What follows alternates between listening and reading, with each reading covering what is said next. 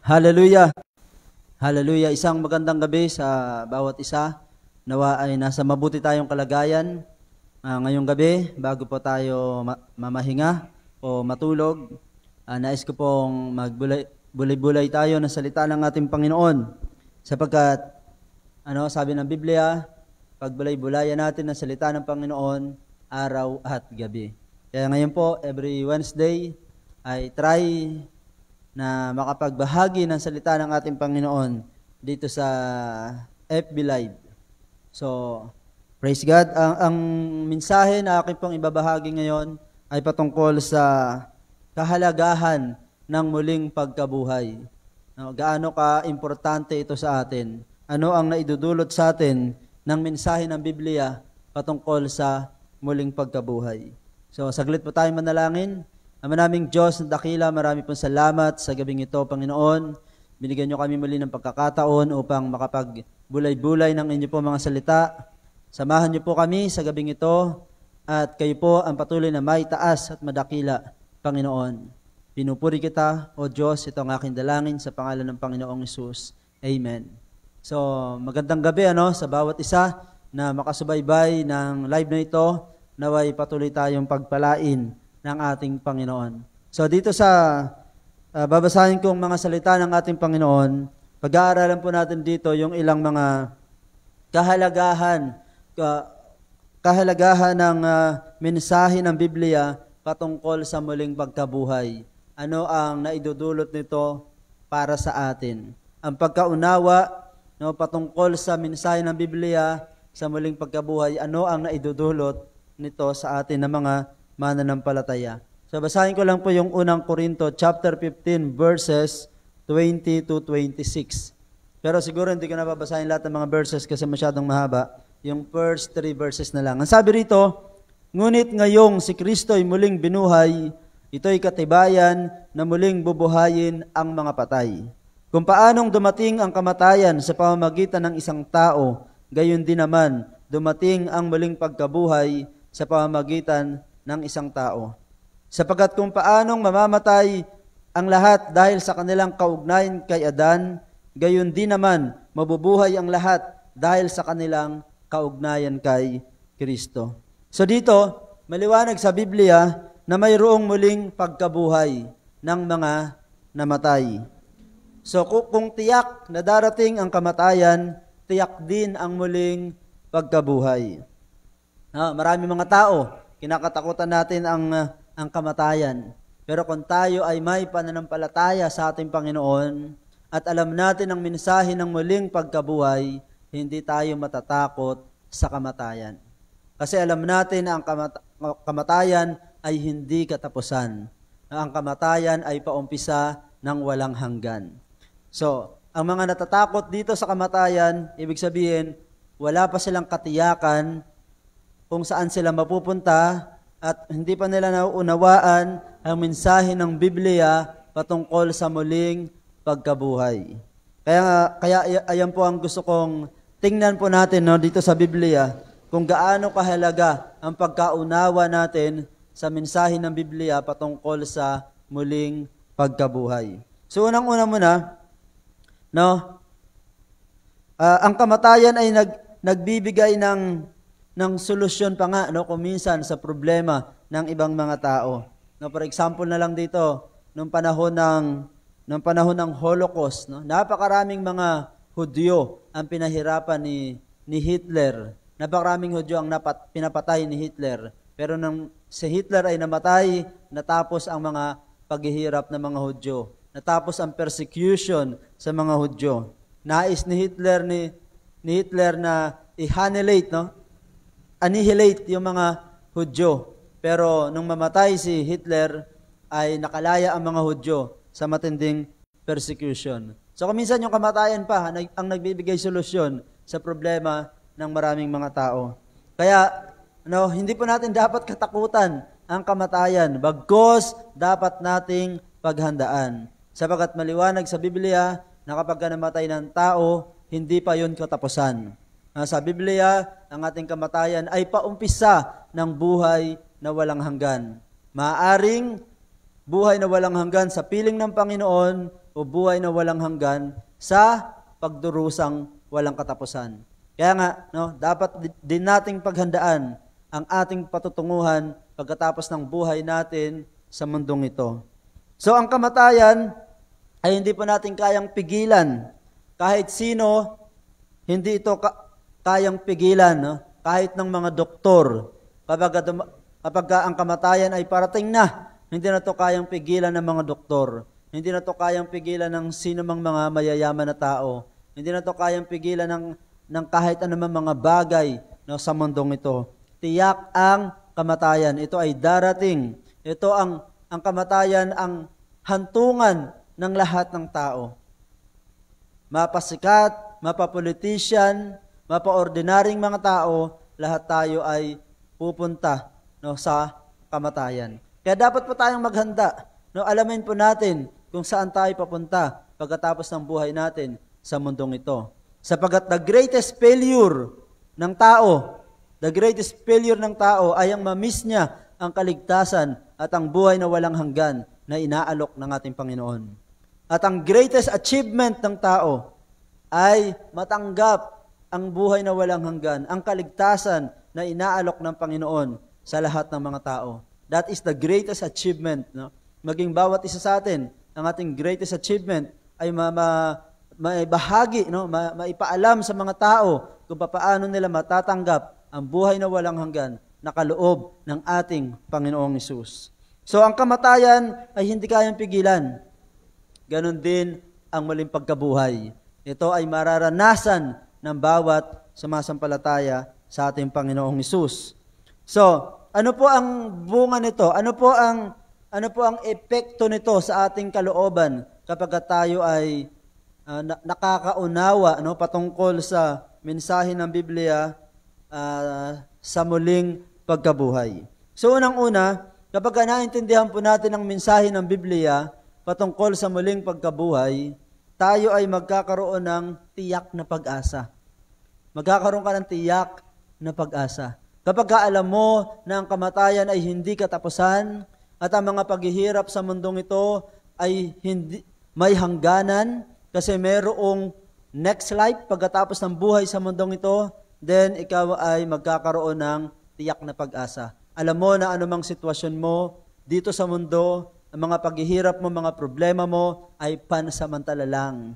Hallelujah. Merong merong kagandahan pagkatapos ng lahat kapag tayo ay sumasampalataya sa ating Panginoon. Kaya nga, no, uh, magkakaroon tayo ng tiyak na pag-asa.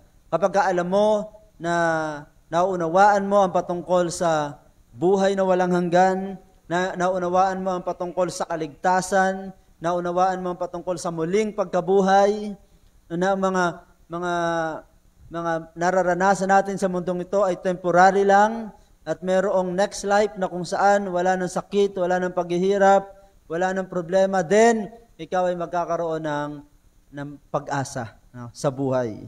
Ano ba mga problema ang dumating sa iyo, hindi ka ma-down, hindi ka ma-depress, sapagat alam mo na ang lahat sa mundong ito ay temporary lang, ikaw ay papunta sa buhay na walang hanggan at sa piling ng ating Panginoong Isus. So, so unang-una, no, kapag ka naintindihan po natin ang patungkol sa muling pagkabuhay, magkakaroon tayo ng tiyak na pag-asa. Tiyak na pag-asa. No? Kung si, kung si Jesus ay muling nabuhay, tayo rin ang mga sumasampalataya sa Kanya kahit mamatay, ay muling mabubuhay. Yan po ang pinakapag-asa ng lahat ng mga Kristiyano. Noong panahon ng first century, ang mga followers ng ating Panginoong Isus ay willing tumanggap ng pagdurusa, willing tumanggap ng mga kahirapan, willing tumanggap ng mga ng mga pasakit, no, alang-alang sa kanilang pagsunod sa Panginoon. Hindi nila tinatanggi ang kanilang pagsunod sa Panginoon at hindi nila hindi nila hindi sila nagpapigil anumang mga pananakot sa kanila. Patuloy silang sumunod at naglingkod sa Panginoon sapagkat ang, ang kanilang pag-asa ay hindi lang mga bagay sa mundong ito, kundi ang kanilang pag-asa sila ay muling bubuhayin at matatamo nila ang buhay na walang hanggan sa piling ng ating Panginoon. Yun yung pinaka pag-asa, no? Inaasahan ng mga unang sumunod at naglingkod sa ating Panginoon. At yun din ang ating inaasahan. No, bilang mga mananampalataya, ngayong 21st century, tayo ay no, patuloy na naglilingkod sa ating Panginoon, sumusunod sa ating Panginoon, at ginagawa ang kalooban ng ating Panginoon sapagkat siya lang ang nangako ng buhay na walang hanggan. Ang Panginoong Isus lang ang nangako na kapag tayo namatay, tayo muling mabubuhay sa kanyang piling. Hallelujah. Kaya nga no, kung naintindihan po natin to, yung mensahe ng Biblia patungkol sa muling pagkabuhay, magkakaroon tayo ng tiyak na pag-asa. Hallelujah. Praise God. Meron po ba kayong tiyak na pag-asa? Kung wala po tayong tiyak na pag-asa sa ating kalooban, tingnan po natin ang salita ng Diyos. Alalahanin po natin ang salit- mensahe ng Biblia patungkol sa muling pagkabuhay. Ang, ang mga paghihirap natin sa mundong ito, ang mga karamdaman natin sa mundong ito ay may hangganan. Pagkatapos ng buhay sa mundong ito, wala nang karamdaman, wala nang kahirapan, wala nang sakit. Hallelujah. Hallelujah. Amen? Yun yung pinaka greatest hope ng lahat ng mga tao na nanalig sa ating Panginoon, na naging alagad ng ating Panginoon. Bagamat ipinangako rin ng Diyos ang mga pagpapala habang narito pa tayo sa mundo, pero our greatest hope, no, ang pinaka inaasahan natin ay ang greatest promise. Ano po ang greatest promise? Eternal life. Eternal life kasama ang ating Panginoon. That is the greatest promise sa Biblia. Meron ding promise of blessing, material blessing in this world, in this life. But the greatest promise ng ating Panginoon na hindi pa natin dapat ma-miss is the eternal life, the salvation, the life in heaven. Ayan ang greatest promise ng ating Panginoon. Kaya nga, no, kapag ka naiintindihan po natin yan, anumang hirap, anumang problema, ang pinagdaraanan natin sa mundong ito, ikaw ay magpapatuloy. Ikaw ay magpupuri pa rin sa Panginoon. Ikaw ay sasamba pa rin sa ating Panginoon. Ikaw ay maglilingkod pa rin sa ating Panginoon kapag naintindihan mo ang patungkol sa muling pagkabuhay ng mga sumasampalataya sa ating Panginoong Isus. Amen? Hallelujah. Pangalawa, kapag naintindihan po natin ang mensahe ng Biblia patungkol sa muling pagkabuhay, pangalawa na ating matatanggap ay tiyak na kaligtasan. Hindi lang hindi lang tiyak na pag-asa, kundi tiyak na kaligtasan. Alam mo na pagkatapos ng buhay mo sa mundong ito, ikaw ay maliligtas. No, nakakalungkot, meron pa ring mga tao bagamat naniniwala sa Diyos, nakakakilala sa ating Panginoong Isus, nakakalungkot pero hindi pa rin nila tiyak ang kanilang kaligtasan. No, nagsishare kami sa mga barangay, nagsishare kami sa munisipyo ng salita ng Panginoon. At madalas kong itanong kung natitiyak ba nila na sila ay maliligtas pagkatapos ng buhay nila sa mundong ito. Majority, nasasabi nila na hindi pa nila tiyak ang kanilang patutunguhan. Hindi pa nila tiyak na sila ay maliligtas bagamat alam nilang may Diyos. Bagamat kilala nila ang Panginoong Isus na namatay sa krus, pinako sa krus, namatay at inilibing, pero hindi pa rin nila matiyak ang kanilang kaligtasan. Bakit po ganon? Sapagkat hindi pa po naintindihan ng malalim ang sinasabi ng Biblia patungkol sa mga sumasampalataya sa ating Panginoong Isus at kung ano ang kanilang mararanasan pagkatapos ng kanilang buhay sa mundong ito. So we need to dig the Word of God and understand yung mensahe ng Biblia ng sino mang sumasampalataya kay Jesus, kahit mamatay ay muling mabubuhay sa piling ng ating Panginoon sa paraiso na inihanda ng Diyos para sa bawat sumasampalataya. Kaya sabi diyan no, sa unang Korinto chapter 15 verse 22, Sapagkat kung paanong mamamatay ang lahat dahil sa kanilang kaugnayan kay Adan, gayon din naman mabubuhay ang lahat dahil sa kanilang kaugnayan kay Kristo. Hallelujah.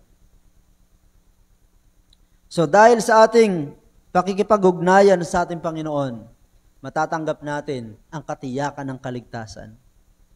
Hallelujah. Magkakaroon ka ng assurance of salvation kapag ikaw ay may relationship sa ating Panginoon. Sapagkat sa Jesus ang daan, ang katotohanan at ang buhay. Hallelujah. At maliwanag sa Biblia, ang pinananahanan ng anak ng Diyos ay may buhay na walang hanggan. So, at meron tayong katiyakan sa ating kaligtasan sapagkat sa Jesus ay muling nabuhay. Ayan po yung pangalawang pangalawang makikita po natin dito patungkol sa sa katiyakan, no? Kung anong klaseng katiyakan meron ang mga sumasampalataya sa ating Panginoon. Meron tayong tiyak na kaligtasan. So sa Roma chapter 5 verse 6, nang wala tayong kakayanang makaligtas sa kaparusahan, namatay si Kristo para sa ating mga kasalanan sa panahong itinakda ng Diyos. So mula sa verse na ito, makikita po natin na na si Kristo ay namatay para sa atin upang tayo ay magkaroon ng katiyakan ng kaligtasan. Sa pangalawang katiyakan, meron tayo, no, bilang mga sumasampalataya sa ating Panginoong Isus, meron tayong tiyak na pag-asa at meron tayong tiyak na kaligtasan. Alam natin kung saan tayo papunta pagkatapos ng buhay natin sa mundong ito. Sapagkat sumasampalataya tayo sa sinabi ng Biblia na mga na ang mga na kay Kristo, ang mga sumasampalataya kay Kristo ay may buhay na walang hanggan. Ayan ang greatest promise ng Biblia.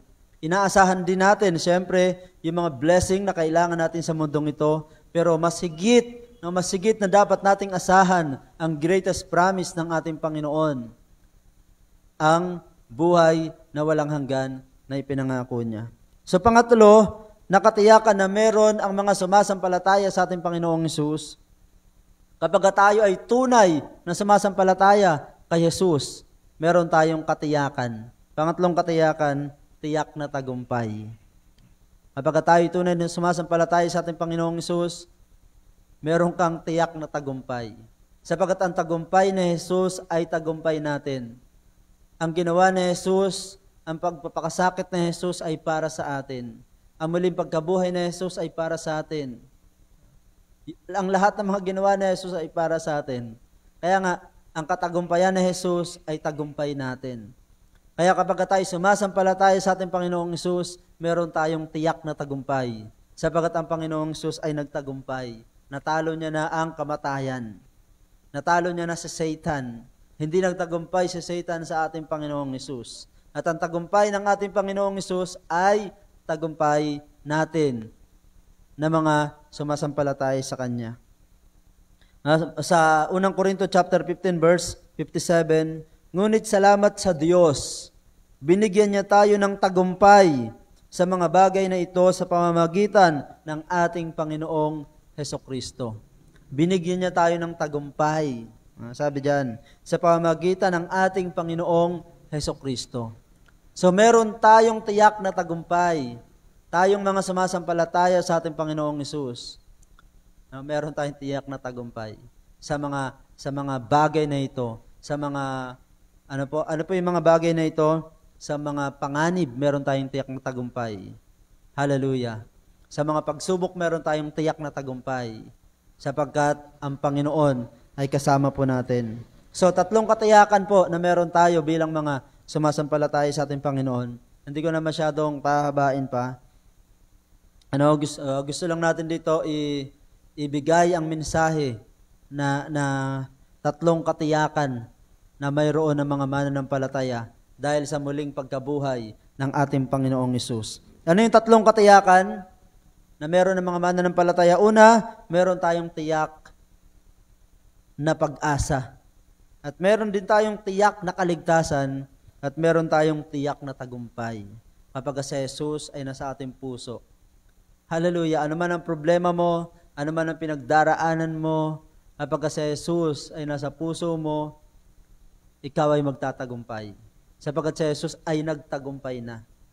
At maniwala po tayo, ang lahat ng ating mga problema ay patuloy nating mapagtatagumpayan. Hallelujah. Amen? Amen. Pakitype po ng amen kung kayo po ay sumasampalataya na meron kang tiyak na tagumpay sa pamamagitan ng ating Panginoong Kristo. So sa gabing ito, ako po ay mananalangin at patuloy pa nating tanggapin sa pamamagitan ng pananampalataya ang mga katiyakang ito. Now, true faith in Jesus Christ, ang mga katiyakang ito ay ating mararanasan. No? Ang, ang, ang tiyak na pag-asa, tiyak na kaligtasan, at tiyak na tagumpay, ang lahat ng ito ay ating mararanasan. Makikita natin sa ating mga buhay by faith in our Lord Jesus Christ. Faith, ano po ang faith? Ano po ang pananampalataya? Ang pananampalataya ay pagkakaroon ng pag-asa sa mga bagay na hindi mo pa nakikita. Meron kang pag-asa sapagkat meron kang salita ng Diyos na pinanghahawakan. At naintindihan mo ang mensahe ng Biblia, kaya meron kang pananampalataya. Without Word of God, wala tayong aasahan. Ano? Kasi ang salita ng Diyos ang ating inaasahan. Kaya nga, yung pagkakaroon ng pag-asa sa mga bagay na di mo pa nakikita, yan ay pananampalataya. No, kaya itong, itong mga bagay na ito, no, sabi ng Biblia, dahil sa muling pagkabuhay ng ating Panginoong Isus, meron tayong tiyak na pag-asa. Meron tayong tiyak na kaligtasan at meron tayong tiyak na tagumpay na, dahil sa muling pagkabuhay ng ating Panginoong Isus. Kaya tayo po isamampalataya sa Jesus, hindi lang siya namatay, inilibing, kundi siya rin ay muling nabuhay. Praise God. Tayo po'y manalangin. Ang manaming Diyos ng dakila, marami pong salamat sa gabing ito. Pinupuri kita at sinasamba sa inyo pong kabutihan, sa inyo pong katapatan. Salamat po, Diyos, sa, sa pagkakaloob nyo ng, ng kaligtasan sa pamamagitan ng aming Panginoong Iso Kristo. At salamat din po sa pagkat aming Panginoong Isus ay hindi lang ipinako sa krus, hindi lang inilibing, bagko sagit sa lahat siya'y muling nabuhay upang bigyan kami ng katiyakan ng pag-asa, katiyakan ng kaligtasan at katiyakan ng tagumpay. Maraming maraming po salamat. Pinapadalain ko po ang bawat isa na makasubaybay sa live na ito. Patuloy niyo po silang tugunan sa anumang mga pangangailangan nila. Panginoon, natigit sa lahat, matiyak nila ang kanilang patutunguhan, matiyak na natanggap na po nila ang kaloob niyo na buhay na walang hanggan. Panginoon, tulungan niyo po ang bawat isa na nakasubaybay at makakasubaybay pa sa live na ito, Panginoon kayo po ang patuloy na kumilos sa kanila pong buhay. Pagpalain niyo po sila, Panginoon. Pagalingin sa anumang mga sakit at karamdaman at patuloy na tulungan sa anumang mga pagsubok na kanilang pinagdaraanan. Salamat, Panginoon, sa inyo po ang mataas na papurit pagsamba sa pangalan ng Jesus. Amen. Amen. Praise God. Marami pong salamat sa inyong mga nakasubaybay sa, sa live na ito. At patuloy pa tayong magtulungan para maipalaganap ang salita ng ating Panginoon. Hallelujah. So, every Sunday, we also invite you, kung kayo po ay malapit lang dito sa sa AGCC Binangonan, please come to join us sa pagpupuri, pagsamba at paglilingkod sa ating Panginoong Isus. God bless.